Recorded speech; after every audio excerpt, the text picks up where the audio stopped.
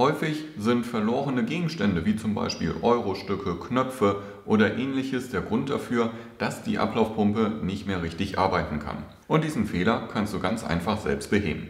Bevor du hier irgendwo an die Maschine dran gehst, ist es natürlich wichtig, vorher den Stromstecker zu ziehen, damit das Gerät nicht von alleine losläuft. Bei den meisten Waschmaschinen findet man hier unten rechts eine Öffnung, wo hinter der Flusenfilter bzw. die Fremdkörperfalle ist. Das ist bei Bauknecht leider nicht der Fall. Das heißt, du brauchst einen kleinen Schraubendreher und kannst dann hier diese Blende einmal abmachen. Hier sollte man schon direkt die Fremdkörperfalle auf Fremdkörper untersuchen und die gegebenenfalls entfernen.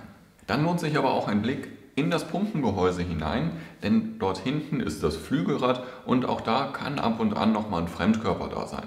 Um sicher zu sein, dass die Pumpe richtig arbeitet, am besten mit einem Schraubendreher einmal das Flügelrad bewegen.